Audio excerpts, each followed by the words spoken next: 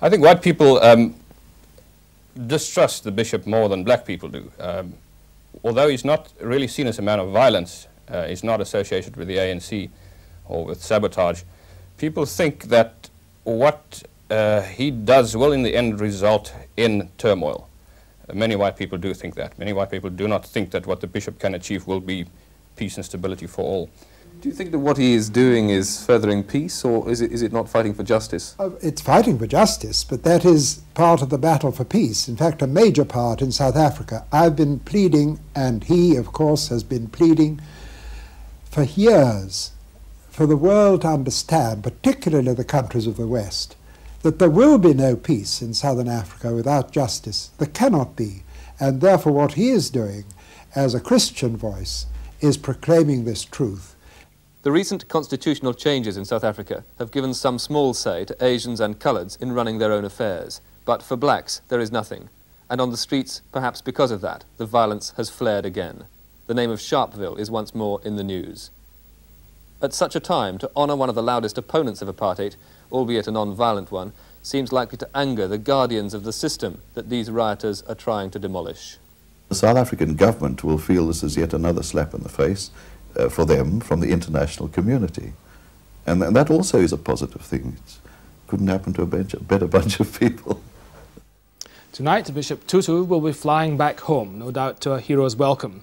But earlier, I spoke to him in New York about today's award. Bishop, in congratulating you on this award, let me ask you if you agree with those who have already described it as something of a slap in the face for the South African government. Thank you very much for your, for your congratulations. Um, the award has certainly uh, sent a very strong uh, political signal to the South African government uh, in pointing out that uh, the world cares about injustice and oppression and affirming those who are opposed to apartheid. Do you think it's a signal, however, that will have any effect on the government or on life in South Africa? Um, I believe that uh, this is not just a personal award, it is uh, a corporate award uh, involving so many people uh, at home and around the world who have supported us with their prayers. And it is saying to the South African government whether they pay attention to this or not, or appear not to pay, pay attention uh, you, you will not be accepted into the family of free nations until you dismantle apartheid. Even though your supporters have their morale boosted by yes. your winning the prize, do you think there's a, there's a danger that perhaps they might be encouraged into taking uh, stronger measures in support of black liberation in South Africa, including violent measures perhaps? Uh, we have to underline, haven't we, that uh, the primary violence in South Africa is the violence of the apartheid system, the violence of forced population removals, the violence of uh, excluding 70% of the population from a meaningful participation in um, uh, the political decision-making processes. And the remarkable thing is that our people have been so patient, I mean, peace-loving to a fault. And one would not be surprised that unless the international community um, intervenes on our behalf, that people then uh, decide to escalate um, the violence uh, in, in that situation in trying to correct it. So uh, is, is it possible then, although you have won the Nobel Peace Prize, that yes. the, the, the, the struggle with which you are identified against apartheid cannot be resolved in the end without greater violence? Uh, I believe that there is still the outside chance. I, I am the perennial optimist.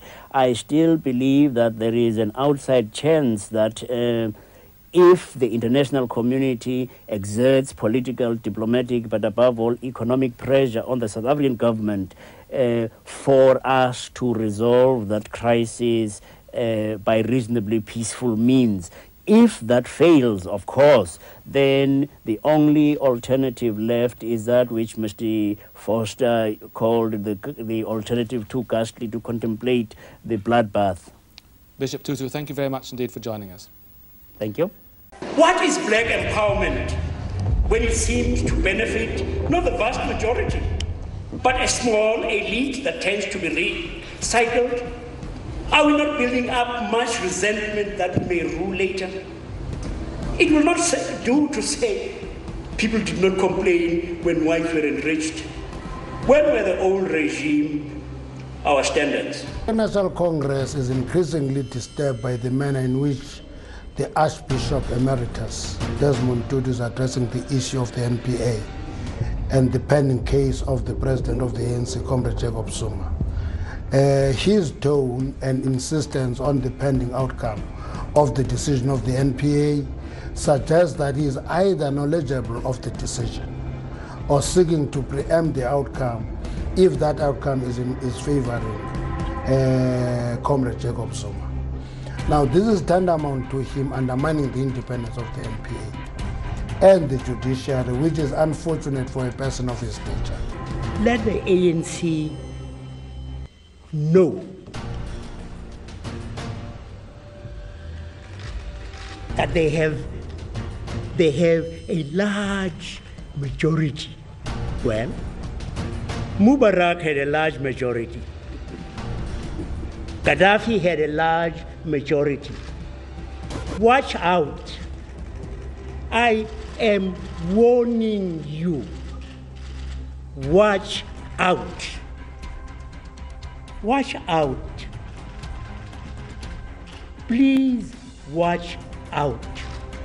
We were helped by the international community to overcome apartheid. We, people were opposed to injustice and oppression, and people believed that we South Africans would automatically be on the side of those who were being oppressed. Tibet is being oppressed.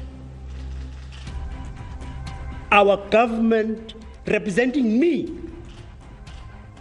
representing me, says it will not support Tibetans who are being oppressed viciously by the Chinese. Hey, Mr. Mr. Zuma, you and your government don't represent me. You represent your own interests. And I'm warning you, I really am warning you, out of love. I am warning you like I warned the nationalists. I am warning you. One day we will start praying for the defeat of the ANC government. I also want to, apart from thanking you, to also apologize that. Uh, we did put you through, especially you, through a period where you you lost confidence in the leadership of the country.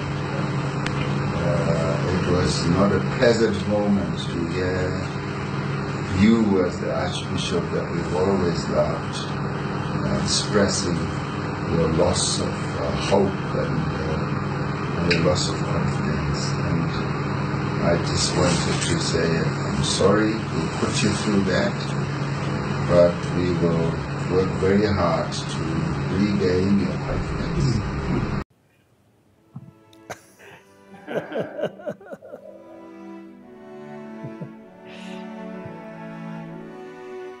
Indeed, I am very, very happy and great honor uh, to talk one of my old friend and spiritual friend. So I really happy having this opportunity. Although physically it's a distance, but mentally we always together. I always consider you as an elder spiritual brother. So naturally now getting older, older, but your spirit remain uh, generation to generation. I myself you see, till my death, I carry your spirit. And then uh, one occasion, our meeting at Dharamsala, you mentioned as a believer of God. So you, after death, ready to go heaven. Uh, I am, according Christianity, I am not believer. So Dalai Lama uh, go something different place. Listen, act like a holy man.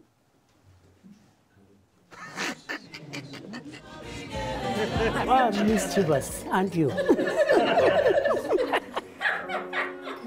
Uh, I consider that person also you see, mischievous person. Unfortunately, that person is Christian. Unfortunately, he's a Buddhist. There's a question of um, how you think about your own death. that possibility. Quite polite. Quite polite. well, he doesn't mind too much because there's reincarnation.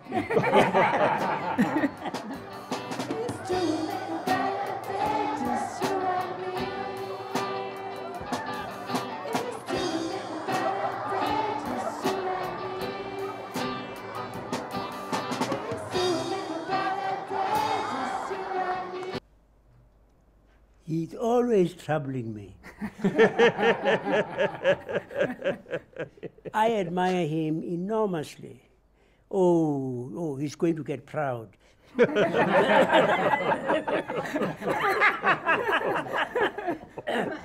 I'm just saying, he is there for us as a, as a beacon. So I really love, you see, he always teasing me, and also I tease him. Oh, you see, so, so we really become something, something quite special. Yes. So, and also his face is, you see, the head looks like a monk now. No. you see, this picture, special picture, uh, I think at time of my death, I will remember you. People, uh, when they saw uh, your face and hopefully my face, then at least a short moment they get some kind of peace. So, uh, so I very much appreciate you, in spite your old age. Still, you dedicated well-being of other. God bless you. Thank you. Thank you, my dear friend. What do you actually do when you forgive someone? Well, basically, you're saying I am abandoning my right to revenge, to pay back. I, I mean, I have, I, by the fact that you have abused me, you have hurt me, or whatever it is that you have done, you have wronged me, by that you have given me a certain right, as it were, over you, that I could refuse to forgive you. I could say I have the right to retribution. When I forgive, I say I jettison that right and I open the door of opportunity to you to make a new beginning. That is what I do when I forgive you. But the Buddhists talk of letting go of the past, dying to the past when you forgive, of letting loose of the sorrow that you have brought with you from the past. Is that what you're talking Yeah. about? The, the thing is, of course, that I don't know that you yourself are able, uh, by a, an act of will, as it were, to let go of the pain.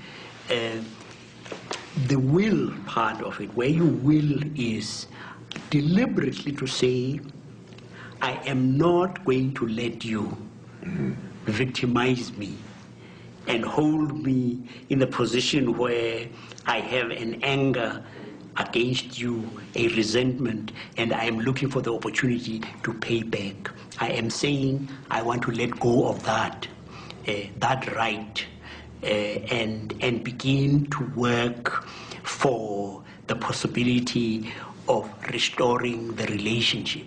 Do I have to do anything, the person being forgiven? For your own sake, the only way you can appropriate forgiveness is by confessing. That opens you. That opens uh, you to the possibility of being able to receive it. It's like it's like it's like opening a window. You see, forgiveness can be likened to the fresh air that is outside or the sunlight that is outside, and and and you have a room and and the and the windows are closed and the curtains are drawn. The wind is still out there. My forgiveness is still available to you, but it won't find access until you open the window and the light streams in. You draw the curtains apart and the, and the fresh air comes in. You, by your contrition and confession, you're saying, I am sorry, forgive me. Open, and my forgiveness enters your being. We're talking here about genocide, torture. Are genocide and torture forgivable? As a Christian, you, you have to say, are there things that are unforgivable? I'm afraid we follow a Lord and Master who, at the point when they are crucifying him in the most painful way, can say, pray for their forgiveness. And we follow the one who says, forgive one another as God in Christ forgave you. That is for us the paradigm. We may not always reach to that ideal, but that is the standard. So now, uh, we religious people uh, should follow, like Bishop Tutu, complete austere peace. Uh, we jokingly telling, I am believer. Uh, I mean, I, I, I believe this is life after life, and no belief creator. Bishop Tutu believe creator. so sometimes uh, he joked me, he ready go to heaven. I may go some somewhere different place.